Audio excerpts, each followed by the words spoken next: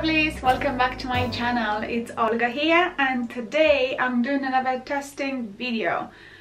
Is unboxing and testing of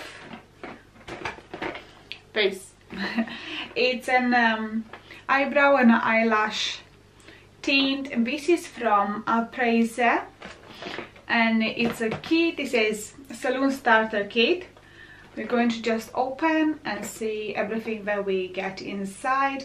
This was off amazon and is around 29 pounds. I will leave a link in the description as well.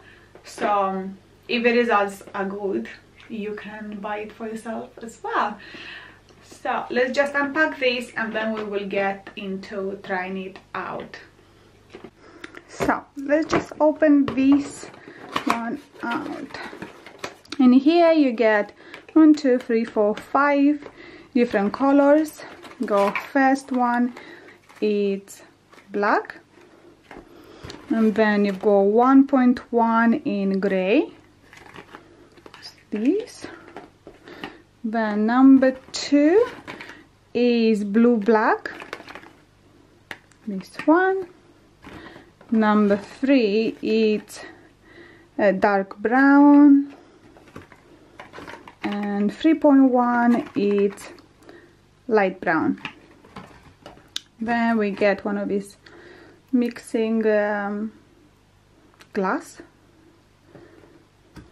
And uh, here is the tin developer is 3% volume 500 milliliters.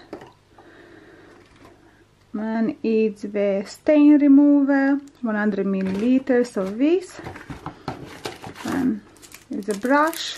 I'm not sure how easy it is to work with this brush. I've got a few angle brushes that I will I'll see probably I'll use mine. I'll try this first and then if it doesn't work I'll use my brush. Then this is eyelash tinting protective sheets. Here. Let's just move it and see how they look basically like a little patch that you put um, under the eyes. Let me just remove one and show you.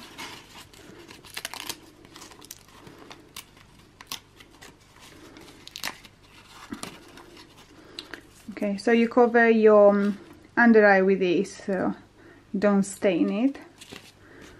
So just this. And then the last is petroleum jelly. This I believe is to put around the areas you don't want the tint to go when you do your eyebrows and your eyelashes as well. So we are gonna get to try this. The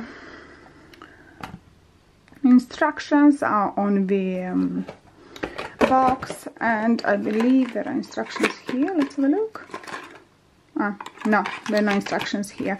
I read the instructions already and it says to mix um, about 2 centimeter, centimeters of uh, this dye with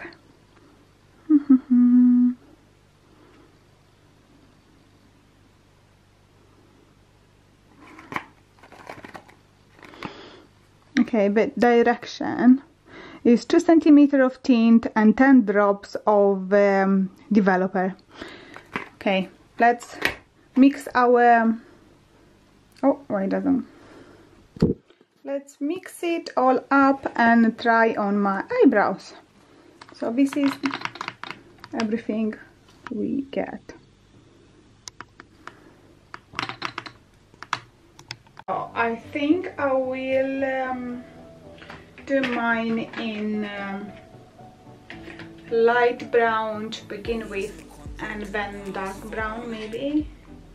Or should I just go for the dark brown straight away? Because I changed my hair color. I think I can go away with a darker brown. By the way if you want to see how I uh, did my